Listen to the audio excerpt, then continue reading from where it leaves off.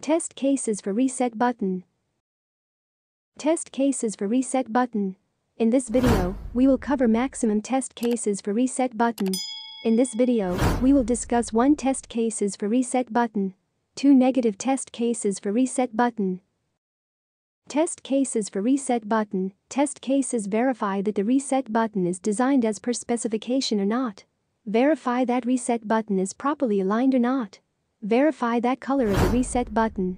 Verify that the reset button is clickable or not. Verify that when the user clicks on the reset button without enter values into fields.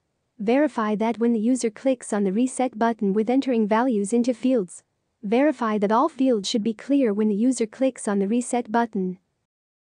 Negative test cases for reset button. Test cases verify that any spelling mistake on label text of the reset button. Verify that double click on reset button and observe the behavior of web page. Verify that button should not be moved by drag and drop action. To stay up to date with the latest videos and test cases examples, make sure to subscribe to this YouTube channel by clicking the button above this video. Like this video and subscribe this channel. Thank you for watching.